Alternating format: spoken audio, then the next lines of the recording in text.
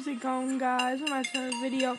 In this video, yes, a new iOS screen recorder have just came out. You know it's called? Evercord. Now, now in this, this is a new, now currently their servers are down, which is kind of sad, but whatever. But yeah, their servers are down, and there are two download services that I know as of right now you can download it which I think is really unique and all that. So I hope you guys really, really enjoy the stream quarter. Even though the servers are down, so I, I just want to do an interview on this though because it seems really cool. So yeah, even though the servers are down, you can't record with it. Just doesn't show the audio. It's okay, guys. Don't worry. That you can still you can still do a wealthy recording because they're working on getting it back up again. So yeah.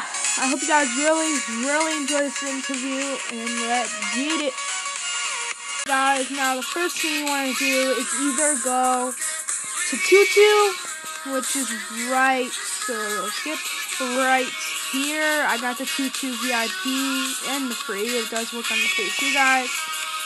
But you can get it from this website too. You know, I'll just demonstrate on the website first and then Tutu. Because we've been talking about Tutu a lot on this channel, so I, let's do something new. So, um, once you go up, up in this website, you scroll down, Evercord will be at the bottom. You'll press install. And once you do that, you'll install it.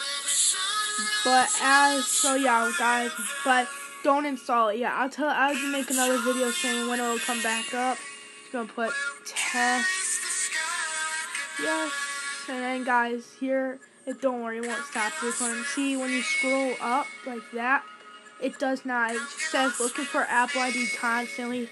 So as you guys can see, the servers are down as of right now on Evercord. But a little bit of help, and then once the servers come back up, guys, if we can get four likes on this video, I will do a review on the screen recorder. I hope you guys really, really enjoy this video, and